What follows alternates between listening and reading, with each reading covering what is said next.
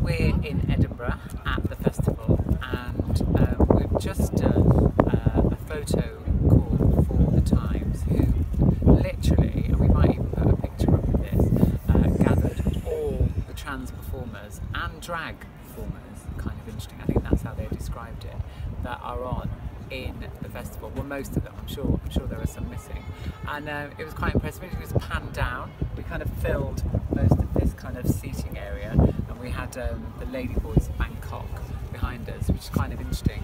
Um, so yeah, we had Jo Clifford, we had me from Testosterone, and a show called Skin, which is a dance show, uh, and my show, You've Changed, which is on at Summerhall, um, 8.30 except Wednesdays until the end of August.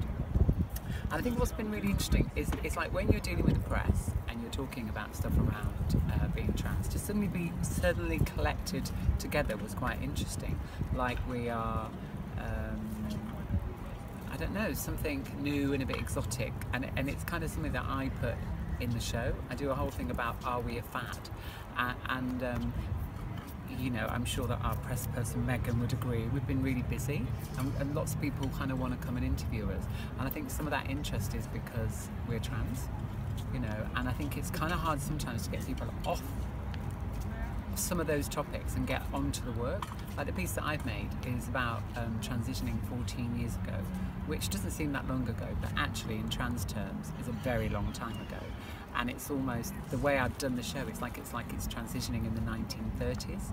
So the idea that some of the ideas back then were really quite archaic, and I, I still think there are corners of that. And, and we, we haven't seen how these articles are going to come out, but there's definitely some stuff that we feel isn't quite up to speed. And, it, and in the show that I do, I kind of encourage people to read a book, look it up, and get on with it. In the same way that I don't feel like it's black people's job to help us understand about racism, I don't feel like it's always trans people's job to help people understand stuff around gender and trans issues or non-binary issues or gender fluid issues.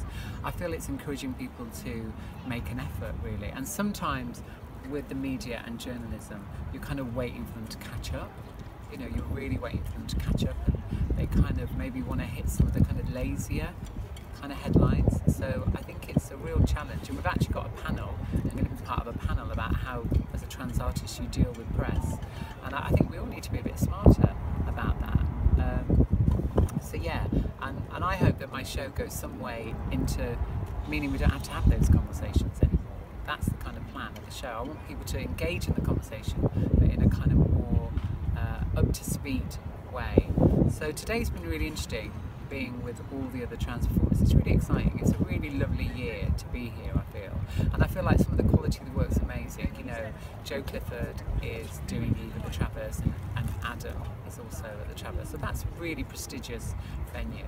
And um, it'd be really interesting to see what happens in the forthcoming years. But we definitely seem to be hot, I would say, in this 19, sorry, 19, what year am I talking about? 2017's Edinburgh Festival. You know, we feel hot and let, let's see what they do in the Times.